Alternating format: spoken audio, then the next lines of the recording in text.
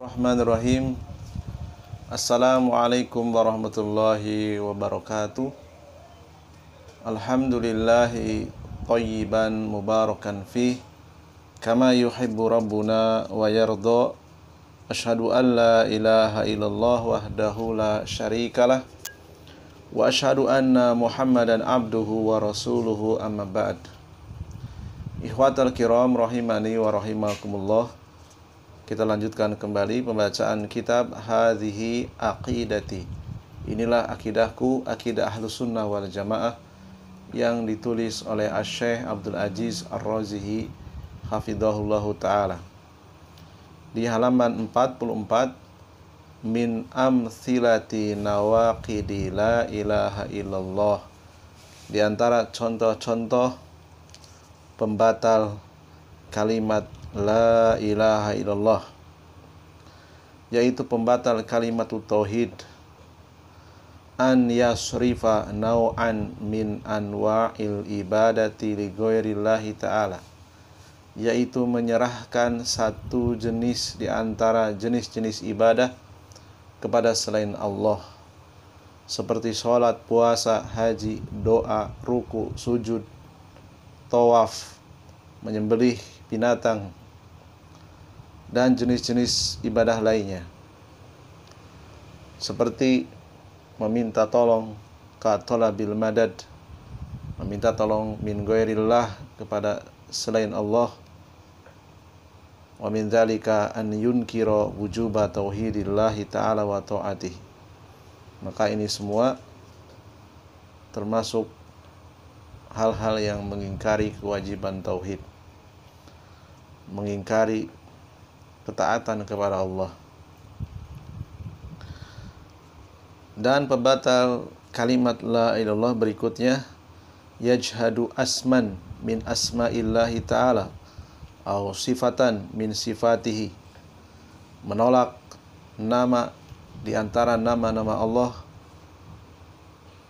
menolak salah satu sifat di antara sifat-sifatnya au khobaron akhbarahullahu bihi atau tidak menerima kabar yang telah Allah beritakan.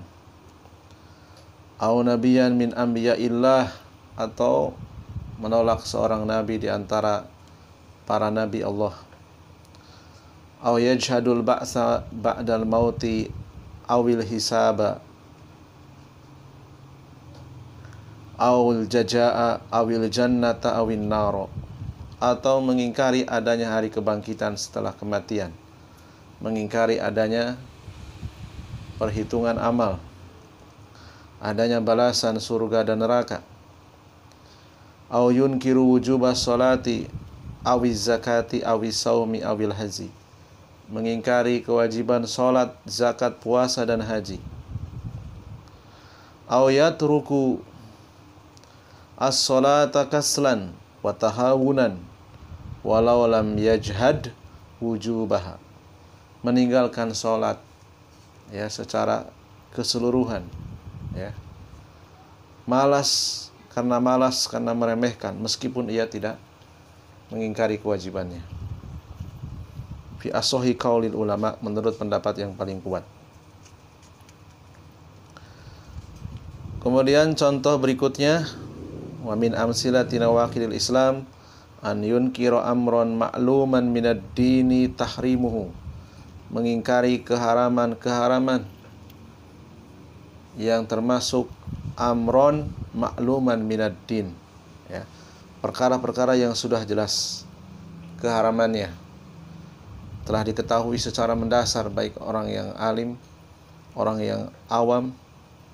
Contohnya an yunkira tahrima qatli nafsihi mengingkari haramnya membunuh manusia au ghairihi hak tanpa hak. Ya. Au yunkiru tahrim riba atau mengingkari keharaman riba awi zina awi syurbil khamri. Mengingkari keharaman zina keharaman minum khamr awi aw ukukil walidain mengingkari keharaman durhaka kepada kedua orang tua. Au qati'atir rahmi memutus tali rahim. Au tahrima riswati atau mengingkari keharaman riswah suap sogokan. Au sahadata syahadati zauri mengingkari keharaman persaksian palsu. Au akli malil yatimi mengingkari keharaman makan anak harta anak yatim. Au tahrimal ghibati awin namimati mengingkari keharaman gibah membicarakan aib saudaranya. Atau mengingkari keharaman namimah mengingkari keharaman adu domba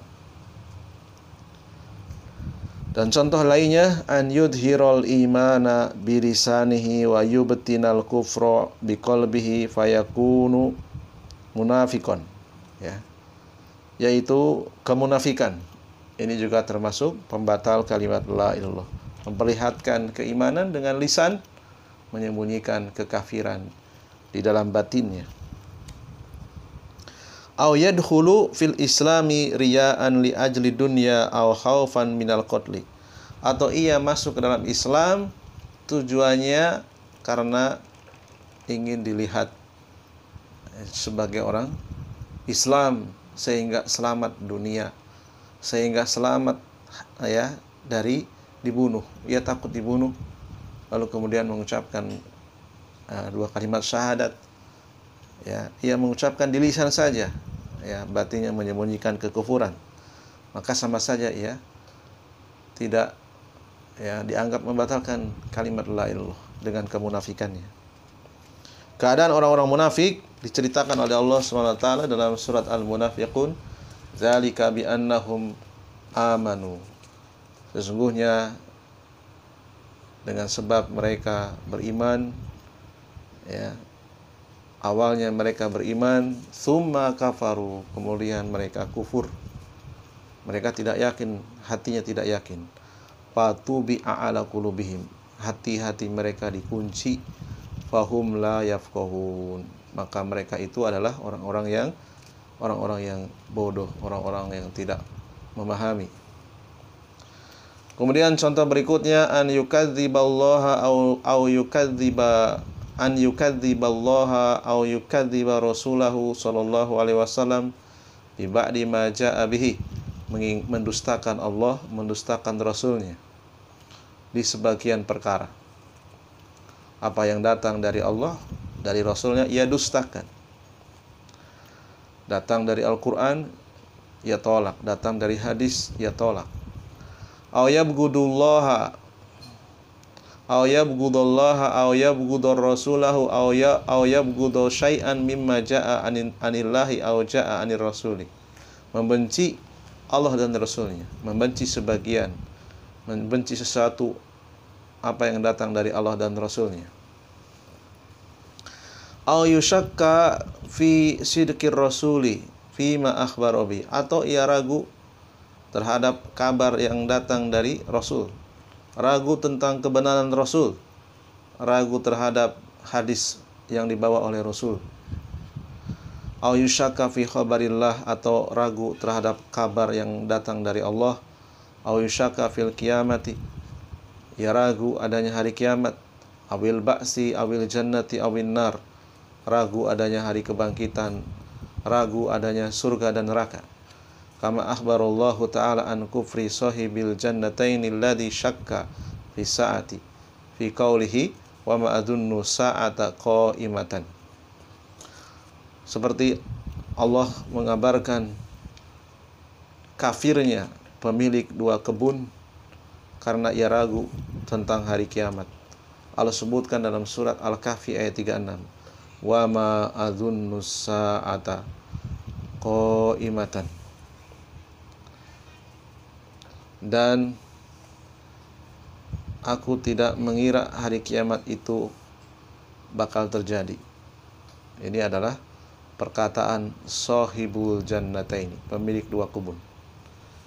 Kemudian Allah juga menceritakan ya temannya pemilik dua kebun tadi qala lahu berkata kepada kepada pemilik dua kebun sahibuhu temannya wa huwa yuhawiruhu. Ya ia berbicara kepada temannya akafarta apakah engkau telah kafir? Ya billadzi khalaqaka kepada zat yang telah menciptakan. Apakah kau kafir kepada Allah? Ya yang telah menciptakanmu min turabin dari tanah. Summa min nutfatin kemudian Allah menjadikan dari tanah yaitu air mani. Summa sawwaka kemudian Allah menjadikanmu menciptakanmu rojulan menjadi seorang laki-laki Al-Kahfi ayat 37 Wa min nawakidil islami an yakroha intisoro dinir rasuli sallallahu alaihi wa ala alihi wasallam duhurul islami wa uluwahu. Di antara pembatal keislaman membenci kemenangan agama Rasul. Membenci munculnya Islam.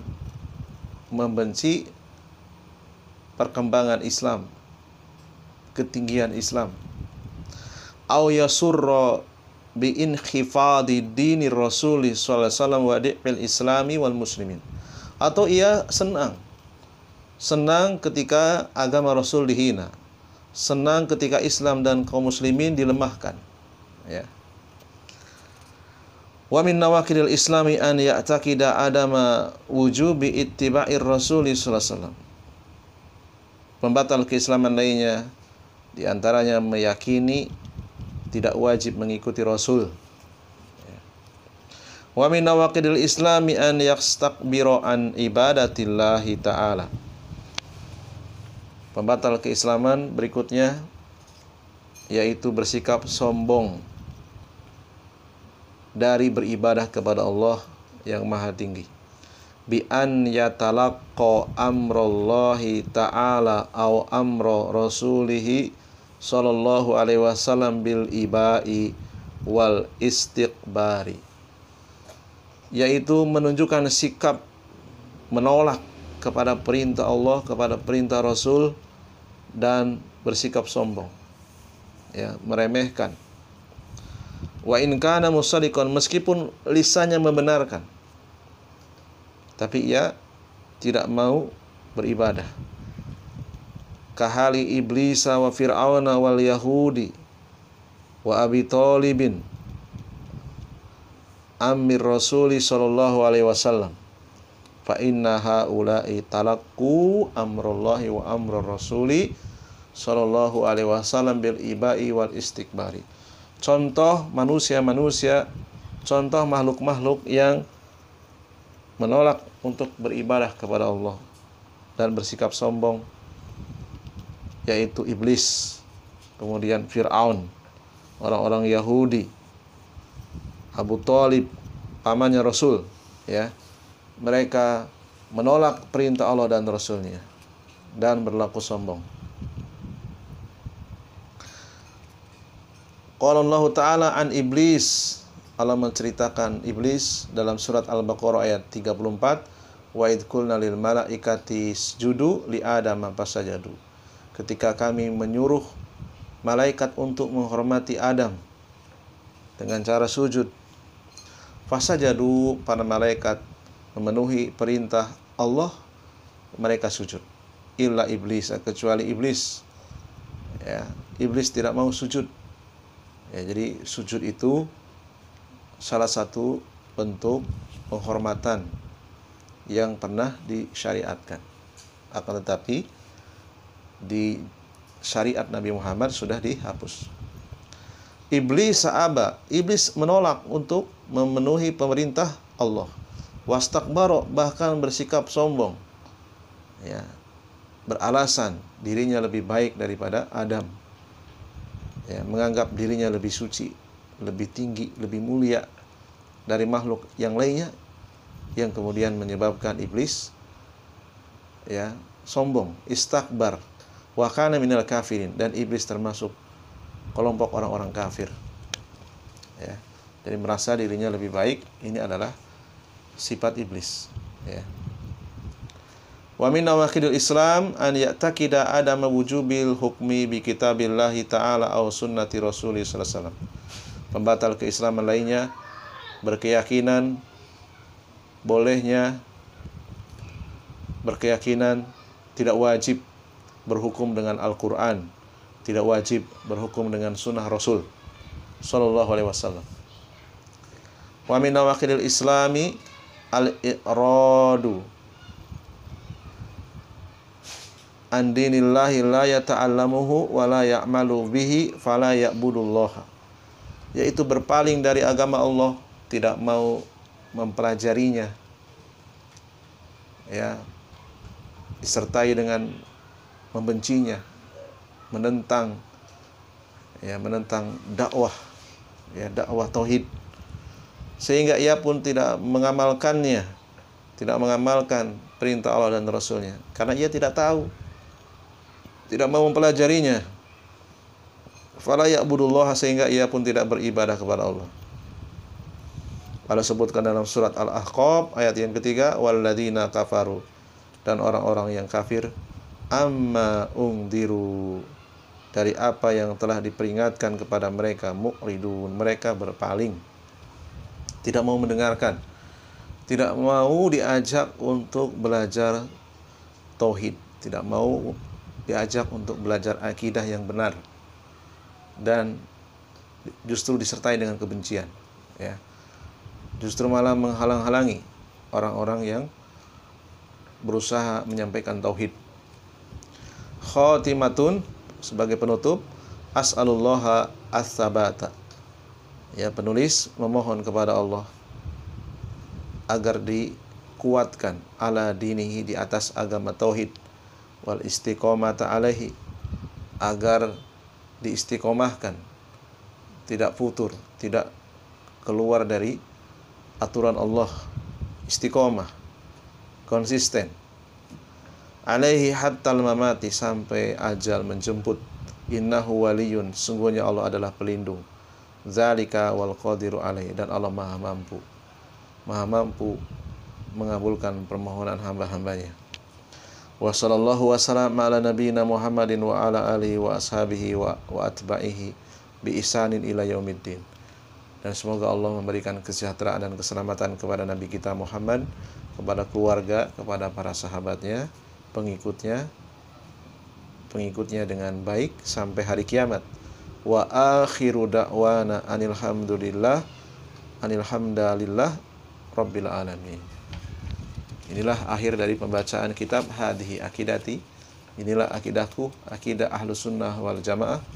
Mudah-mudahan kita bisa mengambil manfaat dan bisa menambah keimanan dan ketakwaan kita kepada Allah Azza wa Jalla. Dan kami mohon maaf atas segala kekurangannya. Subhanakallahumma wa bihamdika. Ashhadu an la ilaha illa anta. Astaghfiruka wa atubu ilaik.